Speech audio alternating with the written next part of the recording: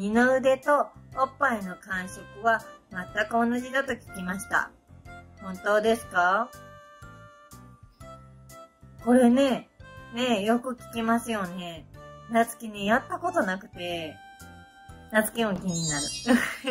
ちょっと待ってください。うーん。オッケーオッケーオッケーオッケー。あー。え、ちょっと待ってね。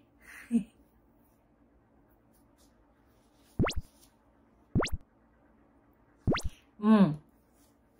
夏希のね、場合は、ちょっと違うかな。似てはね、いるんだけど、うべは、もちもちした感じ？うん。の感触で、おっぱいはね、ふわふわした感じ。の感触なんですよね。もちもちした感触かね、ふわふわした感触か。男性の皆さんどちらの方が好きですか？ふわふわでしたら同じです。覚えといてください。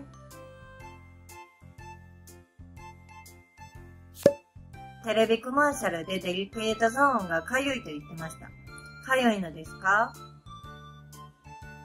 そうですね。そんな頻繁にかゆいってことはないんですけど、かゆい時はね、やっぱりありますよ。うん。私はですけど、男性がね、かゆいなって思うかゆみあるじゃないですか。それとね、同じぐらいのかゆみだと思います。でもね、やっぱ中にはね、めちゃめちゃかゆがる方もね、います。私のね、友達は、すごいかゆいって言って相談を受けたことがあるんですね。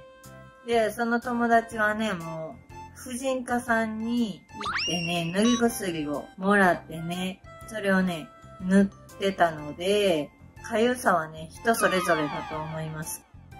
男性のね、方はね、もう痒かったりしたら、すぐに変えたりとかすると思うんですけど、女性の方はどうなーってて、気になるところやと思うんですけどね。